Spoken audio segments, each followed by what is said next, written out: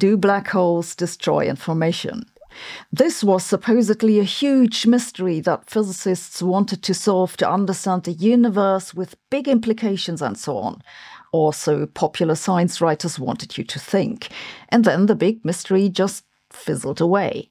Whatever happened? Let's have a look. The biggest problem with black hole information loss is that it's not about information. So please don't get hung up on the question of what information means. It's totally irrelevant. The issue is that Stephen Hawking found out that black holes can decay by emitting radiation, which is now called the Hawking radiation. According to his calculation, this evaporation process is irreversible, which means that you can't tell from the final state of the decayed black hole, which is just a bunch of radiation, what formed the black hole or what fell in later. To put this differently, there are many initial states that lead to the same final state in black hole evaporation. What physicists mean by information in this context is just all the details that describe the initial state which get lost. It's not what we usually mean by information. Really, it had better be called the black hole irreversibility problem. It's a problem because the irreversibility is incompatible with quantum physics. In quantum physics, everything besides the measurement should be reversible. Yes, that means if you burn a book, that is a reversible process in principle, unless you actually want to look at the book. In principle, if you knew all the details about the particles in the smoke and ashes and so on, you could calculate what was in the book. Of course, you can't do it in practice, but this is theoretical physics. The issue is that if a black hole evaporates, the irreversibility happens before the measurement, and that creates a mathematical inconsistency. It's the sort of stuff that keeps theoretical physicists up at night. The reason this happens is not the horizon of the black hole. The irreversibility happens because Hawking radiation is made of particle pairs that are entangled across the horizon. One of the pair falls into the singularity. It's gone and doesn't come back out. End of story. This is what causes the irreversibility, and it's what ultimately destroys the information. By the way, this video comes with a quiz that lets you check how much you understood. But wait, I hear you say, there isn't really a singularity inside a black hole, is there?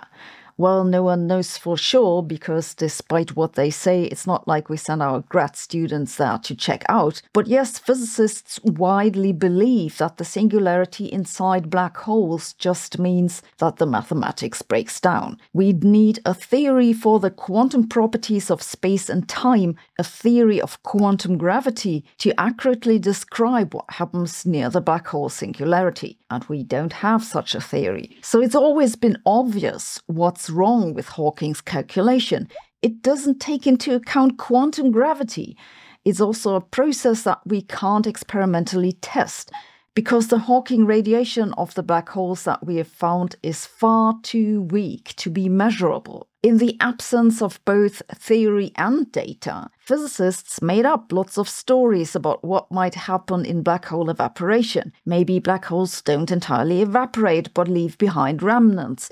Maybe information can't ever fall in. Maybe it bounces back at the singularity. Maybe it comes out with the radiation after all. Maybe it sits at the horizon. Maybe black holes aren't real, and so on. And then popular science writers created this big mystery around it. Now, in the past couple of years, there have been some papers claiming that if you take into account as much as we know about quantum gravity, which isn't much, but at least something, then it looks like there is actually information in the Hawking radiation after all. The authors of this work claim that this is enough to get all the information out, so there never was any problem to begin with.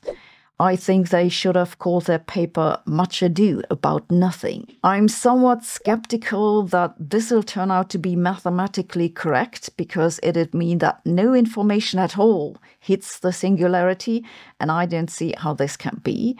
But the truth is that I don't really care because we'll never find out what the right answer is in any case.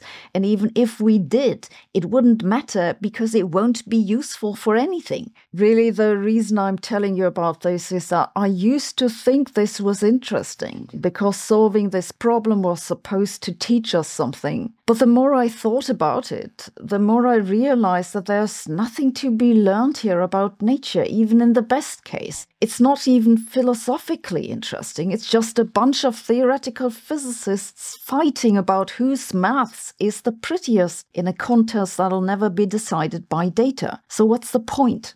Well, points are singular, so one could say that the entire point of quantum gravity is to be pointless. Do you know the joke about the two guys running from a bear? Do you really think we'll outrun the bear? says one of them. And the other one says, I don't have to outrun the bear, I just have to outrun you. That's how I think about internet safety. I don't have to outsmart hackers. I just have to be a little more difficult target than most of you.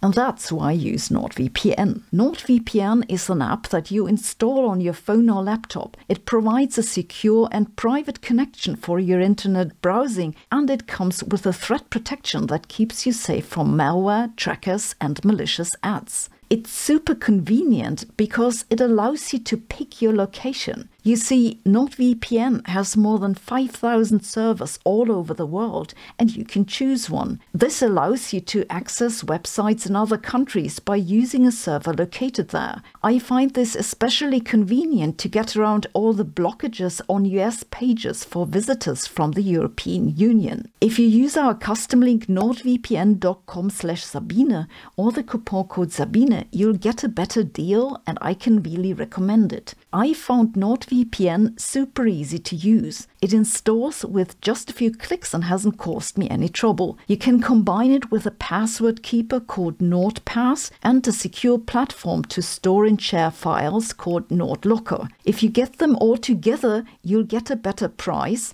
and they all have a 30-day money-back guarantee. To make use of our special offer, go to nordvpn.com slash or use the coupon code Sabine. Thanks for watching. See you tomorrow.